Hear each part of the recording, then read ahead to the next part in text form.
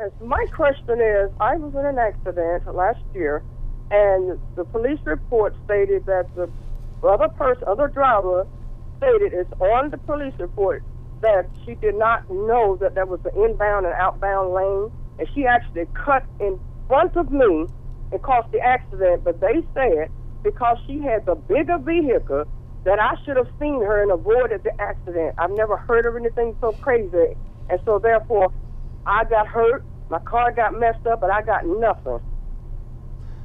Uh, Carolyn, I'm, I'm sorry to hear about that. When you say they said that they you ought to have um, seen you had they had the bigger vehicle, who did the police come out in the other lady's favor, or did the police come out in your favor?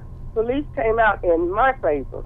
Okay, and so now it's the insurance company that's saying that it's your fault. Is The that what other, the other driver's insurance company said that I should have been able to see her her vehicle and avoid the accident when the other driver admitted that they didn't realize that there was an inbound and outbound lane, and that's clear on the police report.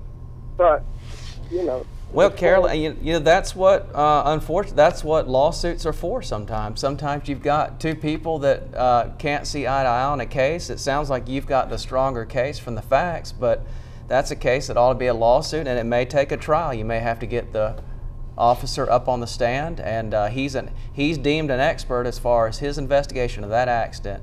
And you can ask the officer everything he did, everything he saw, the measurements he took, skid marks he looked at, and then you can ask him based on all that what he thinks happened.